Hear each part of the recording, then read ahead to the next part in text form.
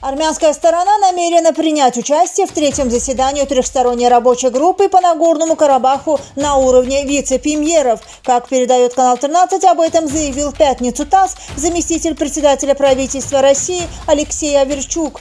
Третье заседание трехсторонней рабочей группы под совместным председательством вице-премьера Азербайджанской республики, Республики Армения и Российской Федерации планируется провести 27 февраля в Москве. На данный момент все стороны подтвердили свое участие, сказал он. Ранее президент Азербайджана Ильхам Алиев в интервью иностранным СМИ заявил, что Баку отнесется с пониманием, если Армения отменит намеченную на субботу встречу рабочей группы. Напомним, что в Армении в четверг начались массовые акции против противников и сторонников премьер-министра Никола Пашиняна после того, как Генштаб Вооруженных сил выступил с заявлением, в котором говорилось, что военные требуют отставки премьера и правительства. Пашинян расценил это как попытку военного переворота и сообщил о решении уволить начальника Генштаба.